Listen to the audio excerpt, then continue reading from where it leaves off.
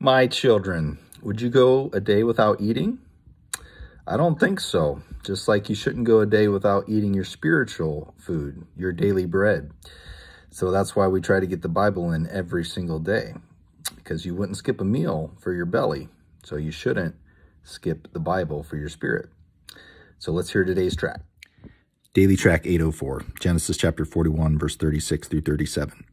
And let it be prepared for the future famine of seven years, which will oppress Egypt, and then the land will not be consumed by destitution. The counsel pleased Pharaoh and his ministers. Kids, so today we see Joseph finishing up his um, his prophecy from God about what the dreams of Pharaoh meant.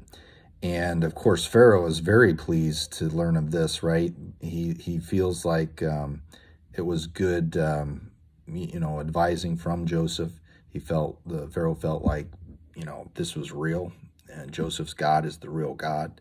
It seemed right. It felt right, and um, also all those who ministered to him, meaning who who you know worked for him, felt that it was good too that they knew ahead of time that something serious like this was going to happen, and now they're going to be prepared for it.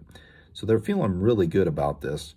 And, um, you know, hopefully that means that Joseph's going to get out of jail and be held in high regard, hopefully.